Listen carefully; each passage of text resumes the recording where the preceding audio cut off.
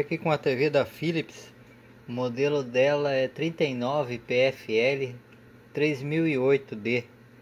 É, essa TV chegou aqui, ela tá com o LED standby ligado, né?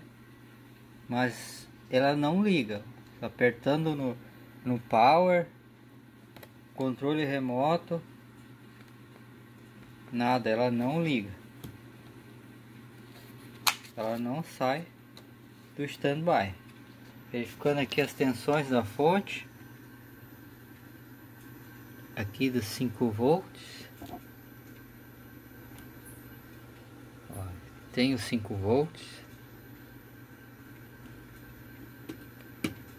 Aqui tem os 24, 25 até. Aqui Temos 12 volts. As tensões todas presentes.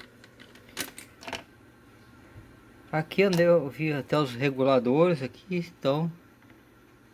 Ó, tá tudo certinho, 1,8. Então neste caso aqui,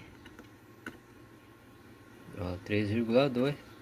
Neste caso, teremos que tira, retirar a, a memória a EPROM e regravar. Regravar ela, porque deve estar corrompida, por isso que não sai do standby.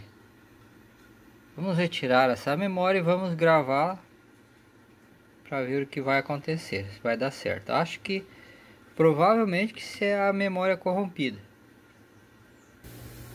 Eu já retirei a memória a Apple. Vamos colocar aqui no, no gravador. Começamos a gravação aqui da, da Apple.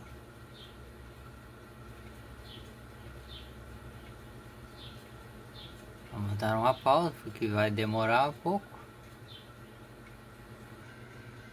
Quase terminando aqui.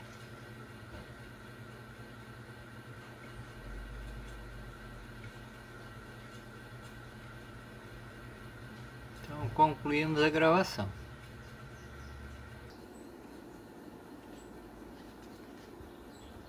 É pessoal, dessa vez não deu certo.